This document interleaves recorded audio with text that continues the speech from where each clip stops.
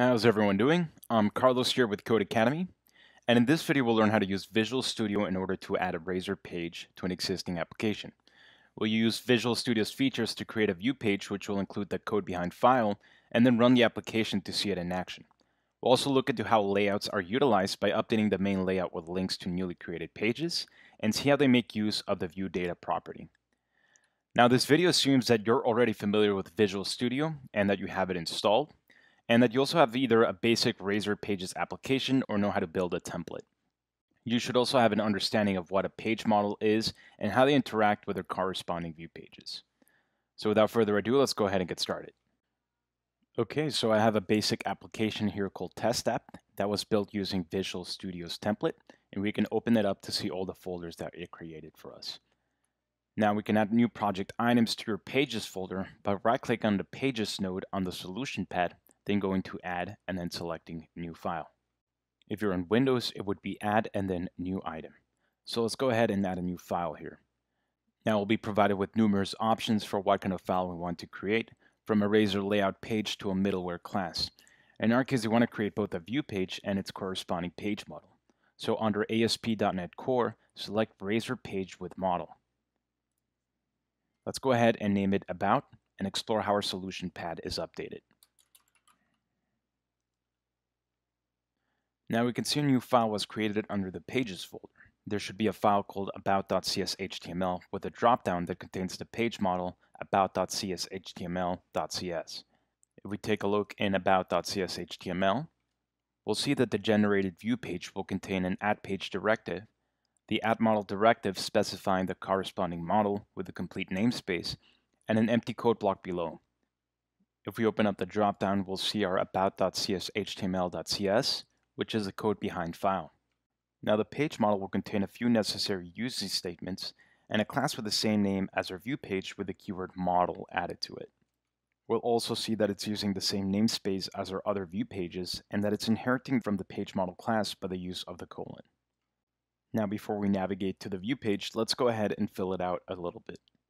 Let's navigate to about.cshtml and let's add a header indicating what page we've landed on. Below our code block, let's add an h1 header, and let's simply say this is the About page. We can then run our application by clicking on the play button on the upper left-hand side. If it builds successfully, it should launch a Google Chrome tab with our application running. So we can directly navigate to our newly created page by typing in slash about. So let's add that to the URL and hit enter. This should now direct us to the About page and render its contents. So now let's go ahead and take a look at routing. Now with default Razor Pages applications, each page's URL matches its file name.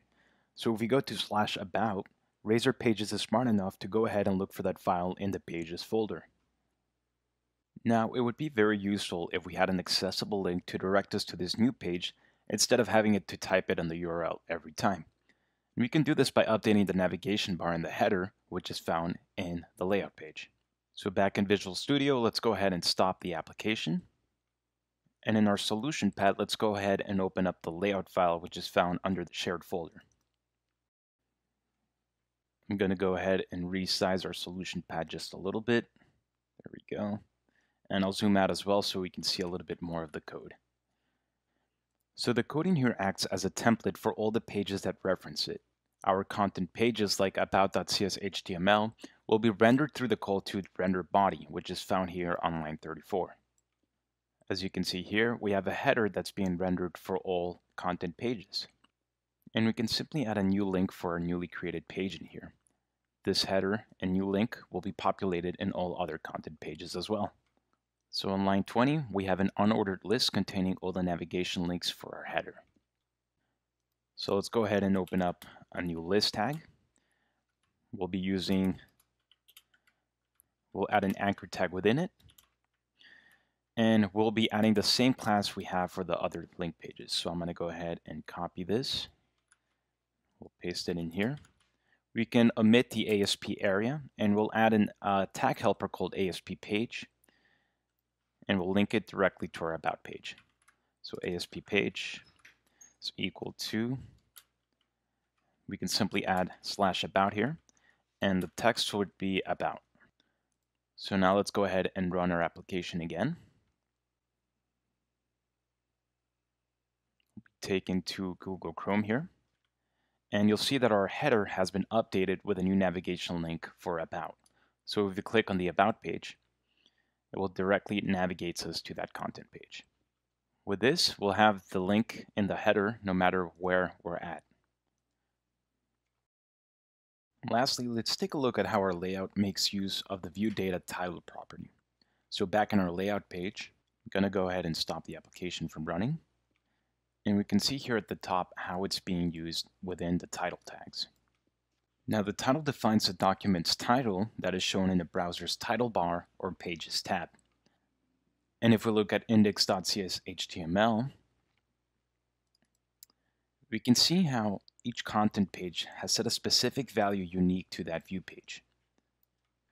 The layout would make use of this value and insert it in the browser's title bar, and it would change depending on what page we're currently at. Now we can take a closer look at this using Chrome Developer Tools. If you haven't used Developer Tools before, well, there's simply a set of developer tools built directly into the browser that can help you edit pages on the fly, debug, or view how pages are structured. Now, before we move on, if we look in the upper left-hand corner, we'll find the Browser tab, which is rendering the text that was found in the title tags. Okay, so in order to work with developer tools, within Chrome, we can open up Developer Tools by right-clicking and selecting Inspect.